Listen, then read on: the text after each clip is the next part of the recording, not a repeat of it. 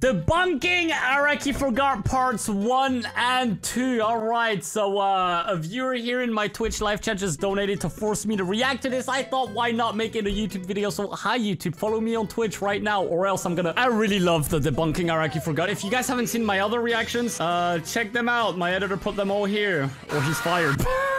Alright. Welcome to the first part of my new series where I will be debunking Araki Forgot. I love how we didn't I've watch the collected first a large ones. number of these from people online, Okay. and some seem so absurd to me that I'll be showing them on screen, just so you know I'm not making these up.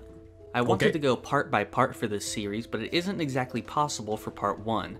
Lots of people bring up things from part 1, but they are really about things introduced in later parts, so I'll be focusing on the first two parts in this video. Okay. In part 1, Will Zeppeli demonstrates Hamon by punching a frog, leaving the frog unharmed and destroying the rock underneath. Many people point out that this is seemingly contradicted by Caesar in part 2, who says that Hamon has no effect on stone. However, this is not the case. This is a wonky translation in the common anime subs. In the manga translation, you can see that Caesar is specifically talking about the Pillar Men themselves. Hamon will be unable to kill them as long as they are stone.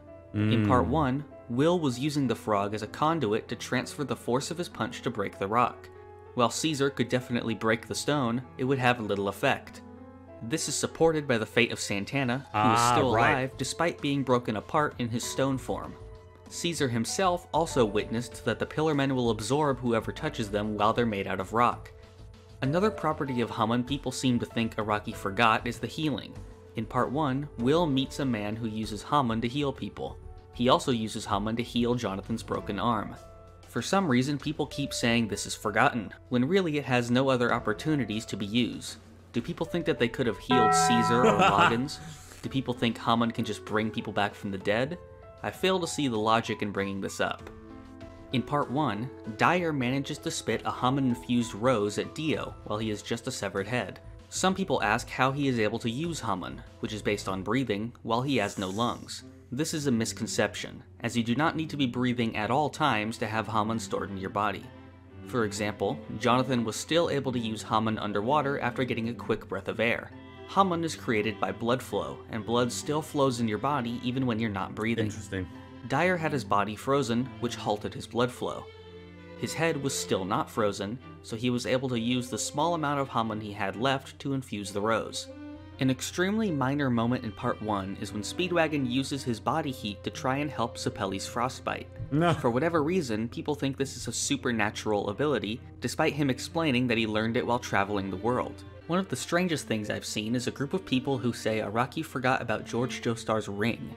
George looked at it as he was dying, which makes the police officer bring up the story of George letting Dario go free. Okay. Over a hundred people apparently think He this was was so meant to come back in ice. some way after George Nice. gives Jonathan the ring. The ring is really just there for Jonathan to remember his father by when he looks at it during the fight with Dio, but apparently that isn't good enough.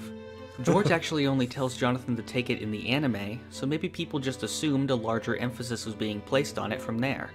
I really don't get why some people are so particular about this small detail. A recurring example people try to better to use as an oh. Araki know. forgot is whenever there's a minor character who appears for a short time.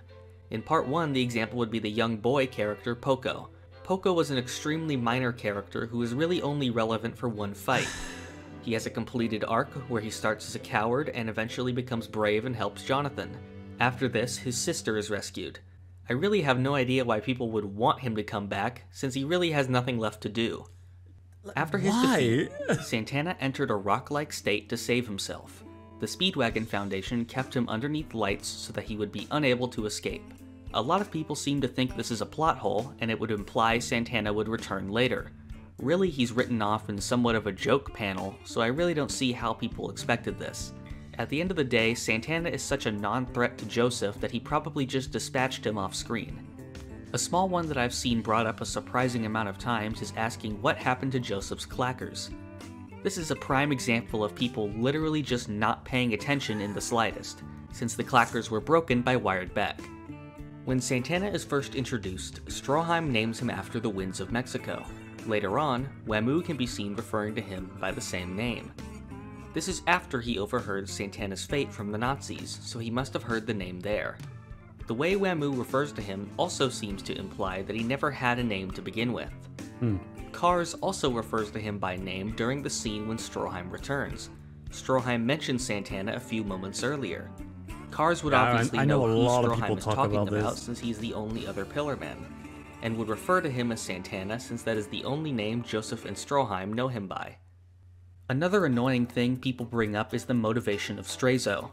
After growing old, he became jealous of Dio's immortality and decided to betray Speedwagon and steal the mask.